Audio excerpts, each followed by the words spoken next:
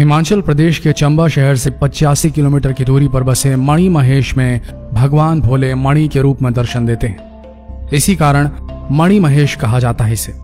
धौलाधार, पांगी व जांसकर पर्वत श्रृंखलाओं से घिरा यह कैलाश पर्वत मणि महेश कैलाश के नाम से जाना जाता है। हज़ारों सालों से श्रद्धालु रोमांचक यात्रा पर आ रहे हैं। चंबा को शिवभूमि के नाम से भी जाना जाता है। मान्यता यह है कि भगवान शिव इन्हीं पहाड़ों में निवास करते थे। मणि महेश यात्रा कब शुरू हुई, इसके बारे में अलग अलग विचार हैं। लेकिन कहा जाता है कि यहाँ भगवान शिव ने कई बार अपने भक्तों को दर्शन दिए हैं। तेरह हज़ार पाँच सौ फुट की ऊंचाई पर किसी प्राकृतिक झील का होना किसी दैवीय शक्ति का प्रमाण है। आइए मणि महेश यात्रा के बारे में जाने कुछ रोचक तथ्य। आस्था के साथ रोमांच भी। हिंदू धर्म ग्रंथों के अनुसार हिमालय की धौलाधार पांगी और जानसकर श्रृंखलाओं से घिरा कैलाश पर्वत मणि महेश कैलाश के नाम से प्रसिद्ध है। श्री कृष्ण जन्माष्टमी, भाद्रपद कृष्ण अष्टमी से श्री राधा अष्टमी तक लाखों श्रद्धालु पवित्र मणिमहेश झील में स्नान के बाद कैलाश पर्वत के दर्शन के लिए यहाँ पहुँचते हैं। पहाड़ों, खड्डों, नालों से होते हुए मणिमहेश झील तक पहुँचने का रास्ता रोमांच से भरपूर है। मणिमहेश यात्रा को अमरनाथ यात्रा के बराबर माना जाता है।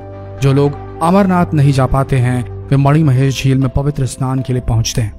अब मणिमहेश झील तक पहुँचना और भी आसान हो गया है। यात्रा के दौरान भरमौर से गौरी कुंड तक हेलीकॉप्टर की व्यवस्था है। और जो लोग पैदल यात्रा करने की शौकीन हैं, उनके लिए हड़सर धनछो सुंदरासी गौरी कुंड और मणि महेश झील के आसपास रहने के लिए टेंटों की व्यवस्था भी है। मणि महेश कैलाश की भौगोलिक स्थिति। शैव तीर्थ स्थल मणिमहेश कैलाश हिमाचल प्रदेश में चंबा ज़िले के भरमौर में है।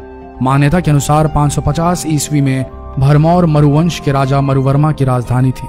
मणिमहेश कैलाश के लिए भी बुद्धिल घाटी जो भरमौर का भाग है, वहीं से होकर जाना पड़ता है। हड़सर से होती है पैदल यात्रा। हड़सर या हरसर नामक स्थान सड़क का अंतिम पड़ाव है।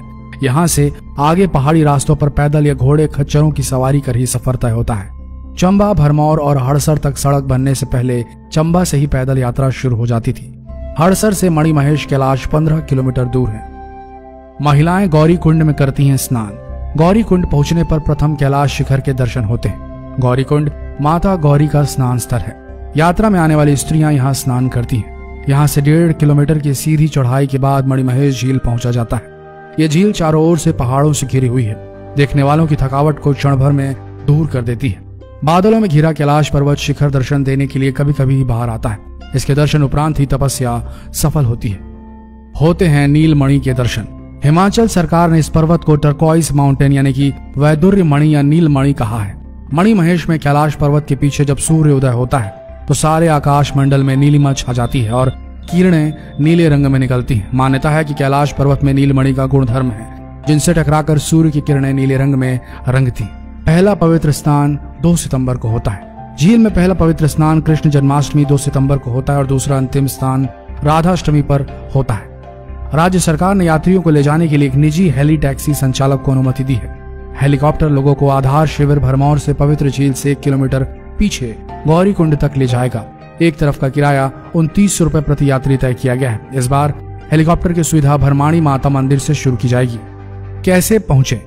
मणि महेश यात्रा हड़सर से शुरू, पैदल शुरू होती है। भरमौर से मणि महेश सत्रह किलोमीटर, चंबा से करीब बयासी किलोमीटर और पठानकोट से 220 किलोमीटर की दूरी पर है। पठानकोट मणि महेश कैलाश यात्रा के लिए निकटतम रेलवे स्टेशन है, जबकि कांगड़ा हवाई अड्डा नजदीकी हवाई अड्डा है। ट्रैकिंग। पैदल मार्ग भी शिव के पर्वतीय स्थानों के साथ जुड़ी हुई शर्त है। कैलाश, आदि कैलाश या मणिमहेश कैलाश सभी दुर्गम बर्फीले स्थानों पर है। इसलिए यहाँ जाने वालों के लिए एक व्यक्ति का सेहतमंद होना अनिवार्य है। ज़रूरी गर्म कपड़े व दवाएँ भी हमेशा साथ हो। मणिमहेश झील के लिए सालाना यात्रा के अलावा भी जाया जा सकता है। मई, सितंबर व अक्टूबर का समय इसके लिए उपयुक्त है। रोमांच के शौकीनों ने धर्मशाला व मनाली से कई ट्रैकिंग रूट्स भी मणिमहेश झील के लिए खोज निकाले हैं। 6000 फुट की ऊंचाई से शुरू होती है पैदल यात्रा। पैदल तीर्थ यात्रा चंबा ज़िले के 6000 फुट की ऊंचाई पर स्थित हड़सर गाँव से शुरू होगी और 13 किलोमीटर की दूरी तय करने के बाद 13,500 फीट की ऊंचाई पर स्थित पवित्र झील के पास समाप्त होती है। क्या क्या करें? अपने साथ पर्याप्त गर्म कपड़े रखें। यहाँ तापमान एकदम से पाँच डिग्री तक गिर सकता है। यात्रा मार्ग पर मौसम कभी भी बिगड़ सकता है। लिहाजा अपने साथ छाता विंड शीटर रेन कोट व वाटरप्रूफ जूते लेकर जाएँ। बारिश में सामान गीला न हो, इसके लिए कपड़े बांधने, खाने पीने की चीज़ें वाटर प्रूफ बैग में ही रखें। आपात स्थिति के लिए अपने किसी साथी यात्री का नाम, पता व मोबाइल नंबर लिखकर एक पर्ची अपनी जेब में रखें। अपने साथ पहचान पत्र या ड्राइविंग लाइसेंस या यात्रा पर्ची ज़रूर रखें। क्या ना करें। जिन क्षेत्रों में चेतावनी सूचना हो, वहाँ ना रुके। यात्रा मार्ग में काफ़ी उतार चढ़ाव है, इसलिए चप्पल पहनकर यात्रा ना करें। केवल ट्रैकिंग शूज़ ही पहनकर यात्रा करें। यात्रा के दौरान किसी तरह का शॉर्टकट ना लें, क्योंकि खतरनाक व जानलेवा हो सकता है। खाली पेट कभी भी यात्रा ना करें, ऐसा करने से गंभीर स्वास्थ्य समस्या उत्पन्न हो सकती है। ऐसा कोई कार्य ना करें जिससे यात्रा मार्ग पर प्रदूषण फैलता हो या पर्यावरण को नुकसान पहुँचता हो। तो दोस्तों, ये थी वो जानने लायक बातें जो आपको मणि महेश यात्रा के लिए तैयार करती हैं। आशा करते हैं आपकी मणि महेश यात्रा सफल होगी और आपको भी भोले बाबा बुलाएँगे। अब मिलते हैं अगले वीडियो में, तब तक के लिए बने रहिए इस पेज के साथ और इस वीडियो को शेयर करना बिल्कुल ना भूले। धन्यवाद।